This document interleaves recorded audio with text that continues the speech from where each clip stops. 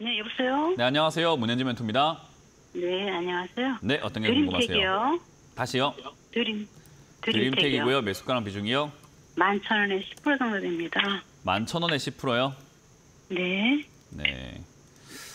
어, 일단 드림택의 경우에는 추가 매수를 굳이 아직은 안 해도 될 것 같아요. 네, 지금 아, 일단 그래요? 비중이 뭐 10%라서 추가 매수를 좀 하고 싶은 비중이긴 한데 어, 굳이 지금 뭐 다른 종목들의 어떤 걸 갖고 계시는지는 모르겠지만 추가 매수를 막 빨리 서둘러서 할 필요까지는 없거든요. 특히나 지금 최근에 음. 이렇게 약간 우상향하면서 올라오고 있는데 어, 추가 매수를 할 거라고 한다면 올라올 때가 아니라 내려갈 때 해야 돼요. 왜냐하면 매수 관점으로 봐야 되거든요. 그러니까 우리가 물건을 살 때 할인을 받을 때 사는 게 좋을까요? 할인을 안 할 때 받는 게 아, 사는 게 좋을까요? 할인 받을 때요. 할인 받을 때 사는 게 좋겠죠, 그죠? 이왕 옷을 네. 산다고 하면은 뭐 가을 맞이 할인, 뭐 겨울 맞이 할인, 뭐 이런 거 할인할 때를 노려 가지고 사는 게 우리가 좀 현명하다라고 이야기하잖아요. 왜냐하면 사는 거니까. 근데 내가 팔 때는 굳이 할인해서 파는 게 좋을까요? 할인 안 해서 파는 게 좋을까요? 할인 안 했어. 그런 거예요. 그러니까 주식을 할 때도 좀 싸게 살려고 하고 비싸게 팔려고 하는 게 그 중점적이 돼야 되는데 사람들은 왜 그런지는 잘 모르겠는데 주식만 하면은 뭐 돈 자랑하고 싶어서 그런 건지 모르겠는데 올라가면 살려고 그래요, 항상. 그러니까 주가가 이렇게 올라오면 지금 살까요? 물어보는 거예요. 저는 그게 이해가 너무 안 되는 거예요.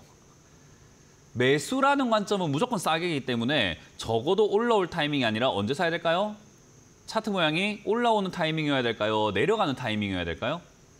내려가는. 그래야지 싼 거죠, 그죠? 그렇기 때문에 주가가 8,000원대까지 이렇게 내려가게 되면 그때 추가 매수를 고민을 해봐도 되기 때문에 추가 매수를 안 해도 사실 슈팅 나오게 되면 얘는 뭐 12,000원 이상까지 올라갈 수 있고 13,400원까지도 가는 종목이기 때문에 굳이 안 해도 수익 내는 게 그렇게 어려운 자리는 아니에요. 그래서 11,000원이라는 자리가 뭐 낮은 가격은 아닌데 뭐 서둘러 추가 매수할 필요는 없다라는 거고 대신에 얘가 만약에 8,000원 정도까지 이렇게 한 번 더 내려와 준다면 저건 이제 유혹을 하는 거기 때문에 좀 참기가 힘들죠. 저거는 이제 조금을 매수를 한번 해볼 필요는 있습니다. 그래서 8,000원에 가깝게 내려온다면 그때 다시 한번 더 연락을 주시는 게 굉장히 좋아요.